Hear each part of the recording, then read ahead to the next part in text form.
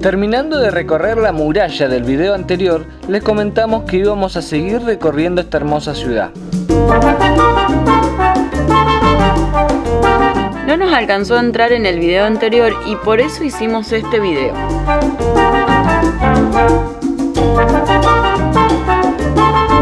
Queremos mostrarle la cantidad de hermosos lugares que tiene Cartagena para brindarle a todo aquel que la visite.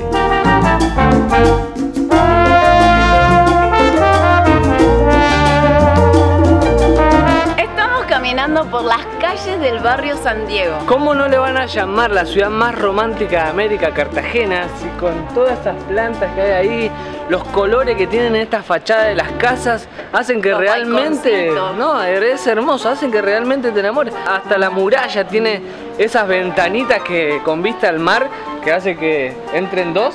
Y salgan cuatro.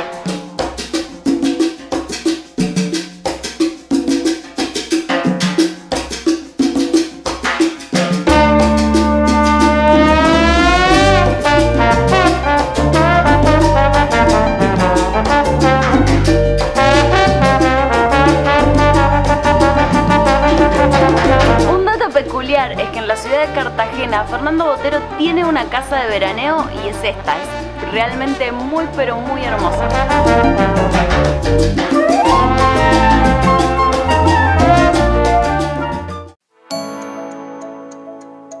También visitamos la iglesia de San Pedro Claver y conocimos la historia de este personaje.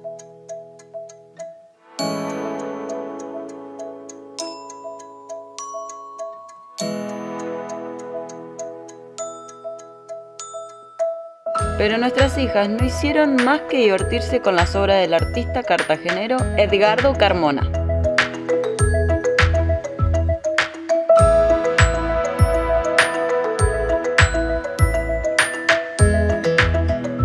Algo que era muy pero muy utilizado, como por ejemplo en el barrio San Diego, es este aljibe que tenemos acá atrás. Era un aljibe comunitario en donde todas las personas del barrio venían a proveerse de agua. Hoy en día ya no se utiliza obviamente porque todos cuentan con red de agua potable.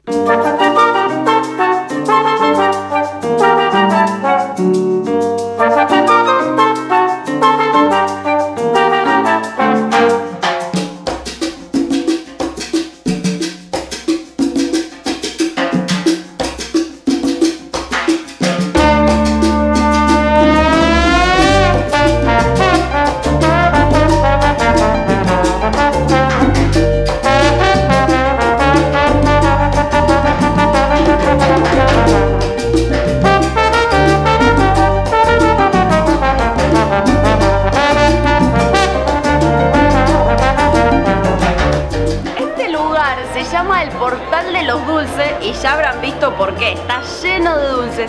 Estos dulces son los dulces típicos de Cartagena y los hacen las palenqueras. Antiguamente este lugar era el Portal de los Escribanos. Me estaba acordando de una cosa muy importante. Vayan a Tenedor Nómade porque también subimos un videito de Cartagena.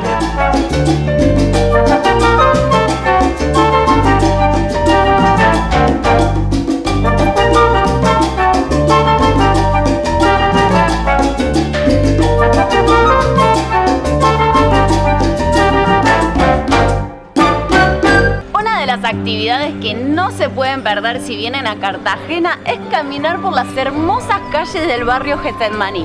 Este barrio que empezó siendo un barrio de arrabal, es un barrio popular, hoy es el más cool de acá de Cartagena. Es más cool. Más cool, qué cool. Acá la verdad es que todas las construcciones son de una planta con muchos colores muy pero muy lindos y muy insta- instagramiables. Justo estamos llegando al callejón angosto, que es donde están todos los paraguas, en donde todos se ven a sacar fotos por ahí. Esto, esto tiene algo muy particular. Todo esto fue hecho por los vecinos para que la gente se pueda hacer fotos. Y por allá, ahora no está, pero hay una cajita en donde ustedes pueden dejar su colaboración para que esto se siga manteniendo así de lindo.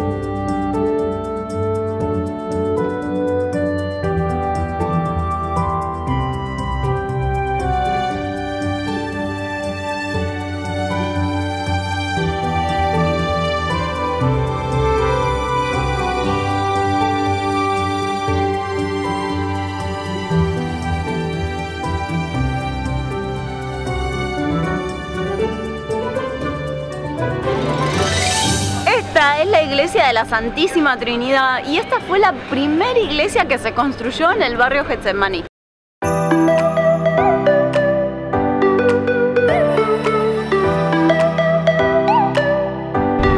Llegamos a la Plaza de la Trinidad. Esta es el centro del barrio Getsemaní. Ahora está un poco tranquilo porque es de mañana, pero esto de tardecita noche se transforma y se llena de gente. Se llena de puestos acá, se abren los bares que hay acá alrededor para tomarse una cervecita. Vienen algunos artesanos a vender sus artesanías también. Como ven para allá tenés todas casitas de colores.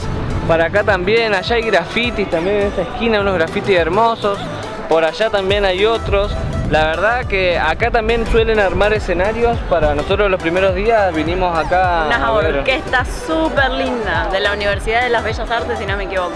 La verdad que este barrio es muy pero muy lindo y lo más llamativo es su origen porque su origen es bien humilde. Acá vivía la gente que trabajaba en el puerto y que construía al principio como podía, después empezaron a, construir con material y todo y pintaron así, van pintando con los restos de, pintura de las embarcaciones y todo, muy parecido a la, historia de la boca también en Argentina. Lo bueno, lo bueno es que no se pierde esa esencia, todavía podemos ver a los vecinos que viven en sus casitas, que se sientan en la vereda a tomarse su tintico y eso es lo lindo de Getsemaní aunque también sepan de que este lugar es el más concurrido por todos los viajeros que vienen para acá. Hay muchísimos, muchísimos hostales en el barrio Getsemaní. Exacto, porque se han ido comprando esas casas, las han ido comprando y transformando en hostales, así que la verdad que es un lugar súper, súper de encuentro para los viajeros que pasan por acá por Cartagena. Pero como dice Andrea, todavía tiene esa esencia, esa esencia de arrabal que eh, le da todo, todo el color a este barrio.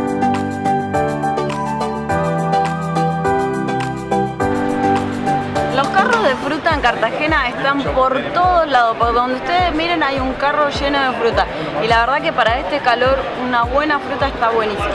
No solamente pueden conseguir eh, la fruta así, el mix de fruta como lo pedimos nosotros, sino que también el típico mango con sal, que a Jeremía le encanta. Entonces, manguito con sal, lo que cuesta es 2.000 cada uno, varía, depende, depende del carrito, pero entre 2.000 y 3.000 lo hemos visto bastante.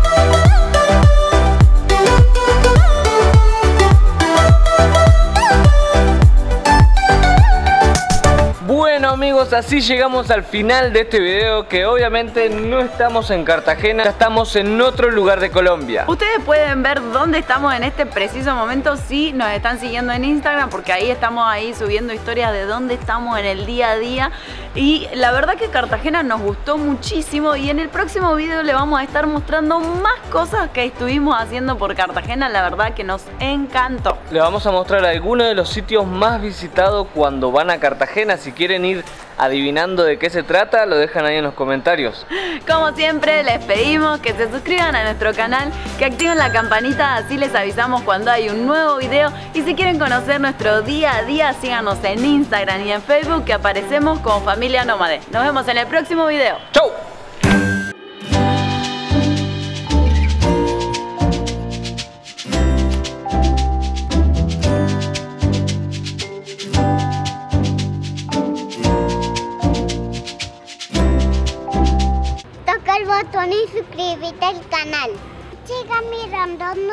Videos. También hay un video de mi cumpleaños. Y me gusta la casa de mamá hoy. Yo fui a Argentina y también me gustaba. Y fuimos a Ecuador, a Colombia cuando yo era bebé.